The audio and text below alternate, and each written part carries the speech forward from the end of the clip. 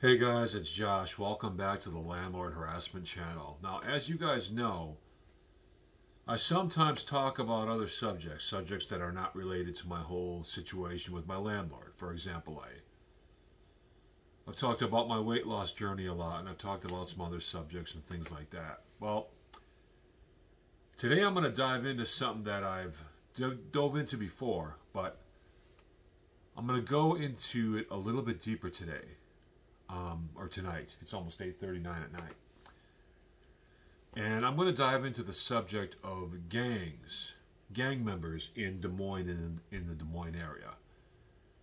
Now I stay in Ames, but every time I go into Des Moines, you know, I see, or almost every time I go into a Des Moines, I see a bunch of people um, perpetrating to be gang members. And so I want to say a few things about this. Um, first of all, to the people of Des Moines, these people are not serious gang members. You don't have to take them seriously. You don't have to be afraid of them. They're goofs, really. I mean, and the reason I know that is because the gangs that they are claiming, most of them are Chicago-based gangs, like GDs, Vice Lords, Spanish Cobras, MLD, stuff like this. Um, and these are gangs that I grew up. I knew I knew a lot of guys in all these kind of gangs. But anything with like folks and people, Chicago-based, I knew a bunch of people like that. And the reason for that is because I'm from Milwaukee. I was never a gangbanger myself, but I'm from Milwaukee. And pretty much all those Chicago-based gangs, the folks and people gangs, have been in Milwaukee for a very long time, since before I was even born. So you're talking about like that since like the 1970s. Like they developed in the 1950s in Chicago, but by the 1970s they were already had branches in Milwaukee. So Milwaukee is almost a second birthplace for a lot of this folks and people stuff. Um, so I can tell you right off the bat that that 99 0.9% of these Des Moines kids are not serious. They're playing gangster. They're not for real. But every once in a while, they do something stupid, you know, to get themselves in, in trouble, or they shoot someone just to prove they can, or whatever the case might be. Um, and they get, you know, they make the news for that or whatever. So, but I want to talk to some of you guys who are claiming to be part of these gangs. You know, you got to take it from me. I'm from Milwaukee, okay? These these gangs have always been in Milwaukee for since I've been born. These gangs that you guys claim, and you're not part of it. So I don't understand why you're even trying to be part of it. What are you trying to even accomplish? You know, I the other day, like or like last week, I met another Iowa dude. Now, in this case, I ran into him online, right? And because I commented on something I shouldn't have even been commenting on. But he claimed to be a member of the Spanish Cobras, and he, you know, he's from Iowa. And I knew just by the way he was talking that he just he, he's not no Cobra. So he starts for whatever reason deciding to focus in on me and trying to clown in on me.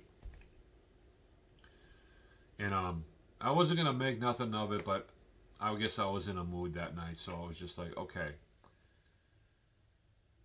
I asked him a couple of questions about the about the Spanish Cobras. And he did not know the answer. And I can't say I was shocked, but he's repping the diamond in his, you know, his, profile picture and everything like that. And I mean, like, listen, man, the question I asked him, it wasn't no insider stuff.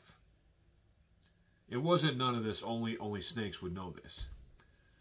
If you have ever lived around Spanish cobras at any point in your life ever, this is just basic knowledge. You know this just from being around cobras. Just even if you're their enemies, you know this just from being from the same city that some Spanish cobras are from. So not only was this guy not a cobra, but he's probably never even met a real cobra in his whole life. So I'm going to give you guys a little bit of game, okay? Like a lot of you youngins around Iowa claiming to be part of these gangs. I know a, a, lot of white boys claiming GD, okay? white boys cannot be GD. It's it's in the literature that that Larry Hoover himself created. You can't be a white boy and be GD. Now, there's some exceptions that sometimes happen. Exceptions are made sometimes. But it has to be a real special situation. White boy has to be from the hood, or he's got to have a black stepdad and he knows everybody in the hood, or it's, it's it, there's some kind of special, unique situation where you can be a white GD and actually have black GDs accept you. Um, but as far as like all these white boys claiming GD and all these sets of GDs that are like 80% white, that ain't real. That ain't real. It's in their literature, and if there ever was any confusion about it, the blueprints killed all that confusion. And if you don't know what the blueprint is, you don't know anything about GD, so why are you claiming it anyway? And this is coming from a white boy. Was it the only, the most of the black gangs, actually all of them, as far as with, with the people and folk stuff, you know, the Chicago-based stuff, their books are closed to white boys, basically.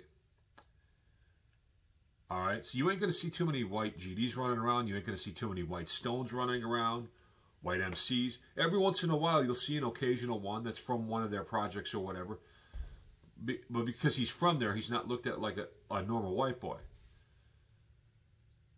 But for the most part, the only black gang that really has any anything like an open door policy towards white boys are the vice lords. And they probably have the most white boys of any black gang. All right, there's even a couple of all white vice lord sets, um, you know, in like in the southern suburbs of Chicago and stuff like that.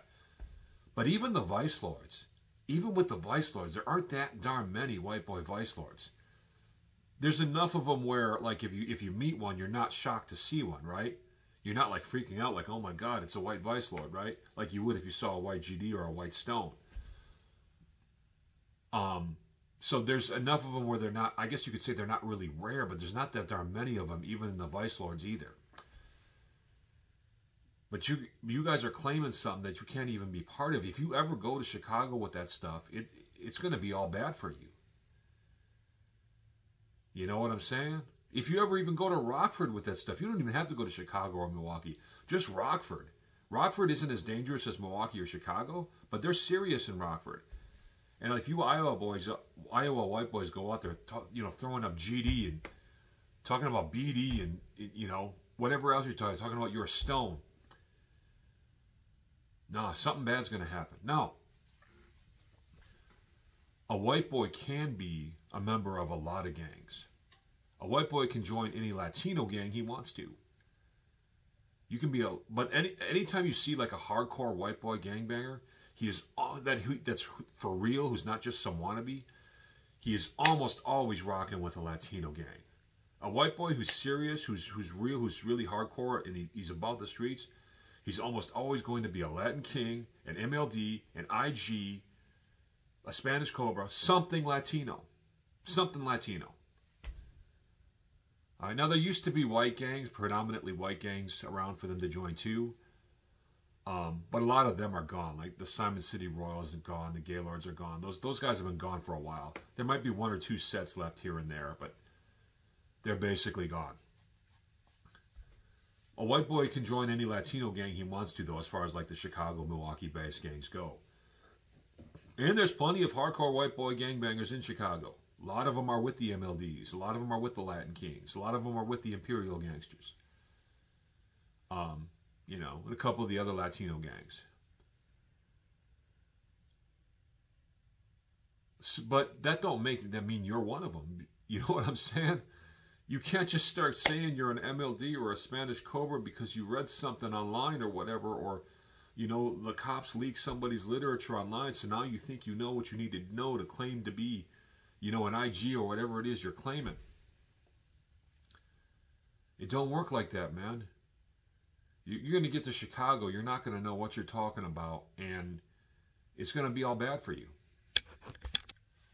And the way a lot of you talk, all right, people are going to know you're fake. Like if you ever go to Chicago or Milwaukee or Rockford or anything like that, people are going to know you're fake anyway You're talking all this folks this, folks that, folks unity, all is one. That that's not real in the streets, man.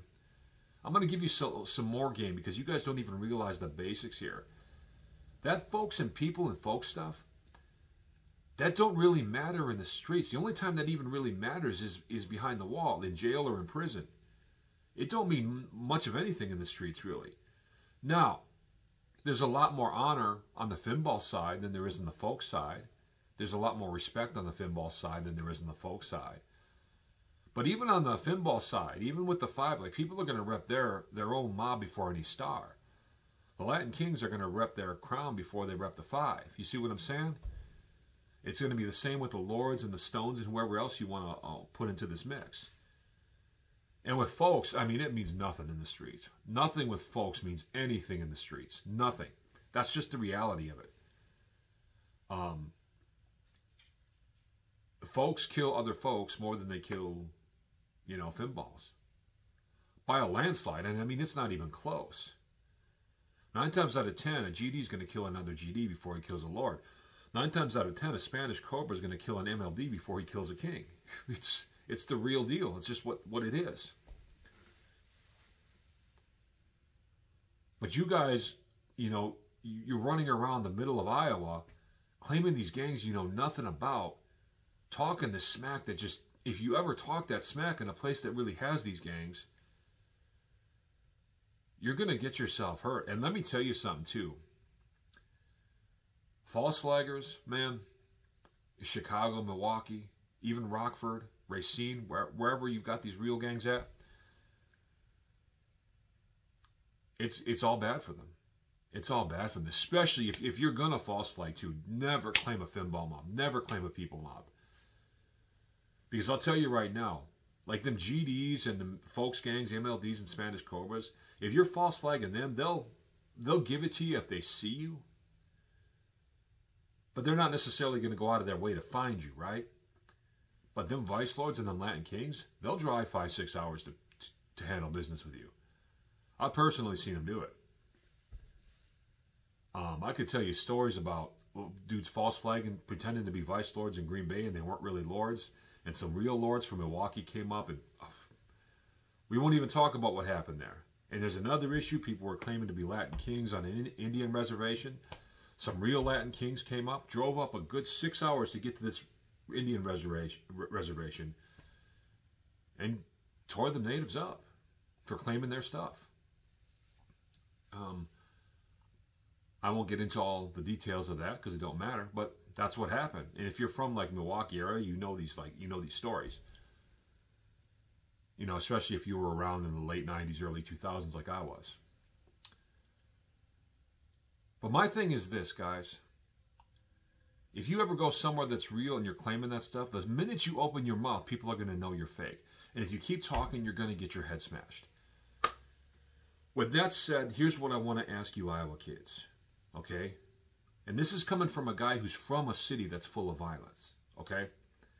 I'm from Milwaukee. Milwaukee makes the top 10 most dangerous big cities list almost every year. And on the years it doesn't make it, it's just because the police have cooked the books to try to make it look safer than it really is. I'm from a city that's full of these gangs that you you guys in central Iowa are trying to you kids in central Iowa are trying to claim. And my thing is why? Is it the bad boy thing? You can be a bad boy without being a gang member. There's plenty of rednecks who are bad boys, and Iowa is like more of a redneck state anyway. Why don't you just embrace that? That's more of who you really are. Because here's the thing you guys are some straight wannabes. But it only takes a couple of generations of wannabes before some real gangsters start rising up, right? Like your first, second generation of wannabe gangsters is just wannabes. They talk about committing crimes but don't really do them. But then the next generation gets a little bit bolder and then three or four generations down the line, you've got some serious gangsters on your hands. I mean, is that what that's what happened in Racine? Racine started out as a wannabe city, but eventually they got serious. Like, why would you want to bring that to Des Moines? Des Moines is like the safest big city in America. Like, do you really want to turn Des Moines into another Milwaukee? Like, what, what do you have to gain from that? I don't get it, man. Because if you succeed in doing that, then everybody loses because Des Moines is another Milwaukee now. Is that what you really want? Like, do you really want to just like be careful, knowing you have to be careful walking around any kind of neighborhood you're in within a city and all that? That ain't what you want for Des Moines, is it? I'll tell you what, I miss a lot of things about Milwaukee, but that's one thing I do not miss. Just always having to just be 100% on alert when you're out walking around. And I'm still that way anyway, but I'm a lot more relaxed now because I know I'm a lot safer now. But still, is that really what you want to turn your city into? Think about what you're doing and think about what you're um, teaching like your little brothers and stuff to be doing. Because yeah, you guys are faking the funk, but what if your little brothers who are 8 and 9 and 10 years old now decide to take it a step up and get serious? Because they were looking up to you, not realizing that you were faking the funk anyway. You don't want that, man. That's all I got to really say. But here's how I'm going to leave this. I'm going to post some crime statistics from the Milwaukee Police Department that has to do with, uh, you know, the, various violent. It, it's like crime statistics from the first, um, you know, five or six months of this year. Milwaukee has already had 500 shootings total. That means about 500 people have been shot already. Okay? Um, something like 200 carjackings. You know, I don't know, something like a thousand armed robberies, which, by the way, most of those are street robberies. Most of those are people just hopping out on people who are walking the streets or hopping out on people who are coming out of grocery stores or check cashing places or whatever.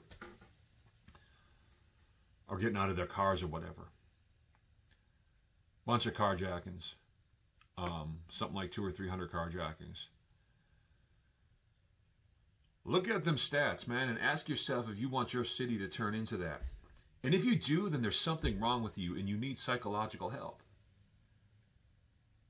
That's just being real with you. Just be from Iowa. That's what you are, right? You're, you're born and raised in Iowa. You don't know nothing about gangs, and that's okay. There's so many ways to be a bad boy and have some respect for yourself and have girls be attracted to you or whatever without claiming to be in a gang and without tr trying to attract that energy to yourself. You know what I'm saying? I'm, I'm doing this out of love, by the way. And I don't talk about this kind of stuff much. But in the years I've been in Iowa, I've seen this a lot, man. You guys are claiming some stuff you have no idea what it even really is. And um, you're either going to get yourself hurt or you're going to get the younger generation hurt. One, or you're going to get both of them hurt. So just think about that. Now here's your Milwaukee crime stats that I'm about to post right now. Think about this. Do you? I'm going to show you this too. Like it's there's like this YTD that stands for year to date, and it's this year to date as as opposed to the year before to date. You know what I'm saying? It says YTD on it. Look at those YTD stats. That means year to date, which means from the beginning of this year up until about probably like two weeks ago. And looking up for 2023, 2022, 2021, whatever. And ask yourself if you want to be part of the energy that is trying to turn Des Moines into, you know, places like Milwaukee or Chicago. If you want that, you're just a straight psycho. I don't know what else to say. But maybe this will wake some of you up. You're not gangsters. Stop acting like you're gangsters. That's it. See you later.